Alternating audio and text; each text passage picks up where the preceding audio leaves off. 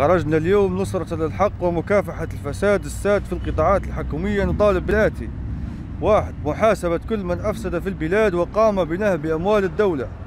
اثنين نطالب بفتح مكتب خاص بهيئة شؤون الشهداء والجرحى والأسرى والمفقودين وتكون تبعيته القيادة العامة للقوات المسلحة مباشرة. نظرا لما تعرضنا له من تهميش وعدم الاهتمام بنا وعلاجنا في المستشفيات خارج البلاد من قبل مندوبين الجرحى في مدينة جدابية ثلاثة نطالب بفتح تحقيق في مشاريع المدينة المتعثرة.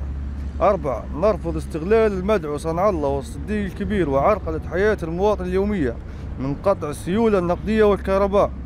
خمسة باقي محاسبة باقي من أفسد في حكومة السراج وأيضا من أفسد في حكومة الثني ستة نجدد دعم من القيادة العامة للقوات المسلحة العربية الليبية.